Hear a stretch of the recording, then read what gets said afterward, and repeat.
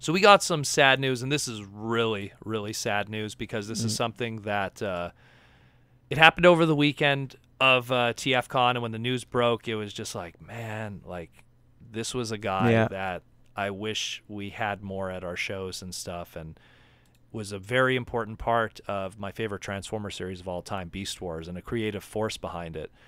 Uh, Larry DiTillio uh, uh, passed away um, March 16th, 2019, right during TFCon. And him and Bob Forward were crucial in everything that we know today that made Beast Wars so special.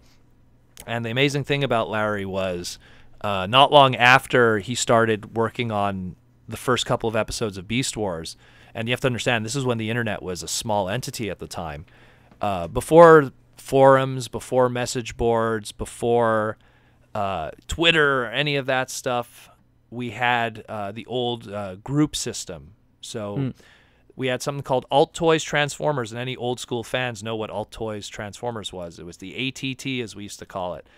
And Larry used to be a regular on there, and he would ask and answer questions of the the hardcore online fans. Keep in mind that fandom at the time numbered of that of 150 if you were lucky. Uh, and he used it as a way to, as a quote to quote him, both Bob and I are fully aware of the old show and we're adamant on producing a better product with the help of the fans. And in a lot of ways, it's I feel like it's his putting an ol- olive branch out to that old that part of the fandom, uh, and that's where we probably ended up getting stuff like episodes like Possession, and other you know um, what's it called there. Uh, all the season two stuff that would lead to more like uh, Cybertronian looking designs and stuff like that. Mm. I mean, the episodes that he's credited for as a writer, uh, The Web, Power Surge, The Spark, Spider Game, Other Voices Part 1, Other Voices Part 2, uh, Aftermath, Other Visits Part 1, Other Visits Part 2, Deep Metal, Other Victories. He also worked on the Predacon Rising movie. Uh, excuse me, Predacon Rising for Transformers Animated. So he even did some animated episodes, um, which again, one of the best Transformers series of all time. So this was a dude who was an amazing writer, had a really good grasp on when it came to writing characters and creating uh, creating good environments for characters to grow and develop. He's actually also credited as the co-creator of She-Ra, Yep. Uh, along with what's his name there, Wendell uh, J. Michael Stravinsky, I believe. Straczynski. Yeah. And J. Michael Straczynski did a lot, a lot, a lot of stuff as Yeah. well. Um, Um, another thing with too- Marvel and everybody at DC, et cetera, et cetera, et cetera. Like his work precedes him as well. another thing too that he gets credit for, which is a big thing for anyone who's into tabletop gaming, was he was uh, integral behind the creation of Call of Cthulhu. Mm. And so that's a, and that he actually got that job during a writer's strike. So like that was kind of like one of the biggest, uh, one of the biggest like, uh, you know, out of nowhere jobs that he got that ended up exploding into something incredible, which shows that sometimes some of the best writers come out of some of the the least expected areas. Like he was a guy who wasn't really a writer, and he, he fell into that, and ended up becoming one of the greatest RPG campaigns of all time. Uh, if Yeah. you're if you're a D and D player, so well not a D and D, a tabletop player. So, you know, he Um, was he was integral behind that stuff. Go ahead, you were gonna say something. I was gonna say other stuff he's uh, also credited for. He worked on uh, Fat Albert. Ah, Uh, yes. He worked. He worked on uh, She-Ra, the Princess of Power. Obviously, he worked on Rock and Roll Wrestling. Yes, He worked on Centurions. Centurions. Yeah, He worked on uh, Galaxy High High School. That see, and that one. What's interesting with that was that if you look at the voice acting crew on that one, that's a lot of Beast Wars people. Mm. So that's uh, Ian Corlett, that's Sue Blu, who's who ended up becoming the voice director for Beast Wars. So I would Mm-hmm. not be surprised if there's some connection there of how that all came about. And Galaxy High came before it, but and Yeah. he worked on Bionic Six. He worked on Captain Power and the Soldiers of Future. another amazing He- show. he worked on the California Raisin Show. I'm just going Yes. through his IMDb, and I'm just literally going through a, a quite a chunk of my childhood. Uh, he also got to work on the TV movie Captain Power: The Beginning.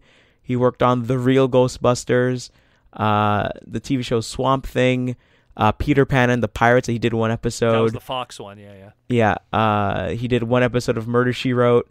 Uh, he did Conan the Adventurer. He did one episode of that.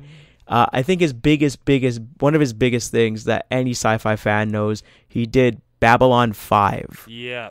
he was a big so anybody that's really into sci-fi from the 90s uh, babylon 5 was one of his big things. Because I had a friend that, like, So- after he watched Beast Wars and became obsessed with it, he started watching Babylon 5 and he kept pushing it on me, going, like, this is what you need to watch.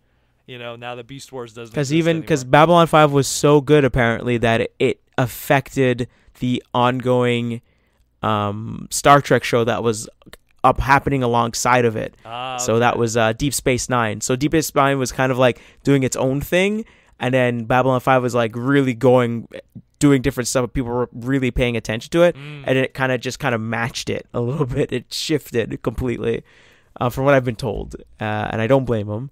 Uh, also he worked on a, a short-lived show. Uh, it was only he only did one episode but it was called hypernauts. Oh, that one I'm so- not familiar with. so that one it was a I think it was an ABC show and it was like these three um characters that that were in these like uh it was like a live action show and they were in these like three um CGI mechs and it ended up in a different part of the universe or something and they had to fight this um this uh alien bad guy and then this this other alien that was part of his race was helping them along as well. It was like these three teens or something like that. So i remember watching that show as a kid and thinking it was really really cool. So to know that he actually worked on that show is pretty cool he worked on the uh the newer he-man and the masters of the universe in 2000 series um he worked on transformers Am- animated did one episode of that and um they they credit him in She-Ra and the Princess of Power, the newest TV series, uh, as created character created by uh, as and they credit him as Lawrence G. DiTillio. Yeah. And the thing is, is that um, Whew, he, he was lot. he was an individual that um, if you're a female and a fan of sci-fi he was a big proponent and pushing for a lot of that stuff because there was an interview on the kid rhino version of the dvd box set of beast wars uh, specifically the season one dvd box set. If you ever get a chance uh, there's he has an interview on there uh, that was called the soul of beast wars. And on that box set uh, he talked about how when he was on att uh, he was always like dropping little hints and stuff to fans, and he was saying that at the moment he was pushing to get female members on both sides of the factions. So of course, Mm. obviously, we ended up getting Black Arachnia in the end. Uh, on And the, Airazor. well, that's just it. And he got black. He got his Black Arachnia, and we all know how that went about with with Mainframe, how they ended up designing her. But it was actually that he actually had to fight quite a bit to push hard to get Airazor because Airazor originally was supposed to be female, uh, excuse me, male in the script Ah, and and it was his pushing that made her female in the show, and then as a result made the toy female too. Ultimately, in the end, so and that that's a key one because what people don't realize was that Airazor was the first time ever a Transformer toy was female and it wasn't just a repaint of something because Mm. because we had even Minerva. You could go as far back. Minerva was the first ever technically female Transformer toy, but it was in Japan only, and it was kind of a re, you know it was a repaint of Nightbeat. Like there was like a you know it wasn't it was like it was I always say when a female character is just a repaint, you know it's it's a consolation prize. You know what I mean? yeah. It wasn't intended. And then you move forward and you got Black Arachnia. Yeah, she did get a toy, but it was a repaint of Tarantulas, you know? So Airazor really was the first one. It was the first one that this toy is its own mold and it's female, and that's how it's going to be. And so he was a big pusher for that. And so, like, you know, it's a big thanks to him that you got that. And it doesn't surprise me because when you look at his history of the stuff he's created, I mean, look, Yeah. Sh- She-Ra, you know what I mean? Like, that says a lot about um, his frame of mind and, and stuff to put a stronger female uh, connection in science fiction and in all our stuff. So he was this dude. This dude is is super important when it came to just all kinds of science fiction, everything of that manner. And uh, again, if you watch if you watch the interview on the Beast Wars uh, DVD box set, I remember it quite vividly. Um, quite a smart guy, quite a smart guy. Really was obsessed with character creation. Really was obsessed with with character development. Small groups, small family groups. No, you know, the ability for a viewer to get get to know characters so well that you're then able to know how they would be with each other as if they were family You know, and, and that's the thing I used to always say about with Beast Wars as opposed to say Generation One or some other series is is Beast Wars, you really knew how everyone was with each other. Yeah. How if you if Cheetor was in a room with Dinobot, you knew how they would be. Or if Cheetor was in a room with Rat Trap, or if Cheetor was in a room with, with Like uh, everyone's relationship with each yeah, other. everyone's relationships where And that like made that made uh, Rat Trap and Dinobot's last stand moment like all the better, all Yeah, the more course. Worth it, all the more. Oh my God, you're super invested in these two guys that really don't like each other, but they have to make it work, Yeah. or else they're gonna die. It was it, it- it's, it's it's a shame to hear that because you know the the sad thing is I, I'm trying to find because maybe someone could help me out here. I've been trying to look for his date of birth. Uh, all I got, unfortunately, and I've looked at so many different sources, and unfortunately, all I got is 1940. That's all I have. So all I know right now is that he's like, you know, he was in his late 70s. You know, that's all I know really, like, like 79, which is still, you know, you still got some, you know, some mileage still on the clock. So uh, in my opinion, still young, in my opinion, at least to me. Um, and it's a shame that we lost him because I feel that in this weird time now that Transformer is Transformers is creatively, we need someone like that. I just feel that like someone like him would be a, a really good addition. I mean, it does not surprise me that you know like the guy who worked on Beast Wars, and even in a small way, contributed to probably everyone's second favorite Transformer series, if not their favorite, in animated. You know, does not surprise me at all. So, and not and again, when you look at his list of other stuff he's done, you know, Captain Power and Soldiers of the Future, even though it wasn't a grand success, was another one of these shows that has a huge cult following because of how well the character development was on it, and and and the ideas. You know, like if you go back and you look at the ideas for Captain Power and Soldier of the Future, it was like the prototype to the Matrix. You know, and I by, that I mean the the Keanu Reeve movies. You know, so there's there's a lot of smart ideas that this guy had, and it's such a shame to hear that he passed away because he was a large part of my childhood. And I don't say that lightly.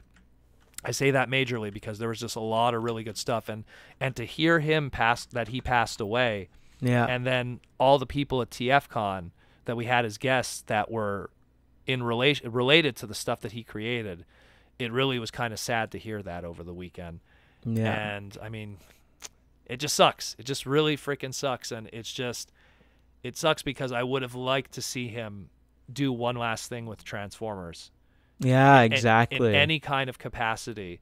Because right now we're in a, like, Cyberverse isn't terrible, but we're just in a really weird p- place right now because of the movies and stuff. And anyone who just listened to our previous discussion about what's going on with the movies in general, um, it just would have been great to have a guy like that around. And he's and he's still look he, like when he did animated, he was you know it was only a couple years ago, so he's probably still very sharp. And I and I know uh, after T, uh, after this TFCon weekend, we met a whole bunch of different writers who are also of a similar age group. A lot of them are very sharp still, so sharp minds that keep busy. Um, but the point is, is that it's a shame. He will be missed heavily. Rest in peace, Larry. Rest in uh, peace, man. You were you were an incredible creator.